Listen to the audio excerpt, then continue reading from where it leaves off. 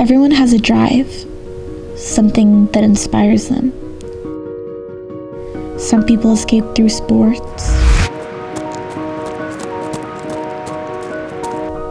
Some people find themselves at peace in the outdoors.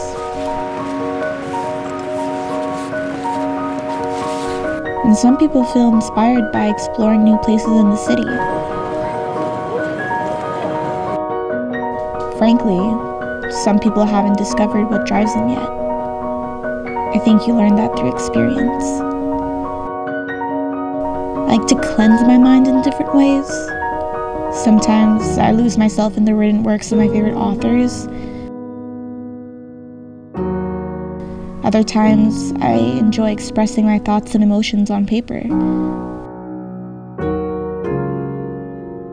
These things inspire me to create art.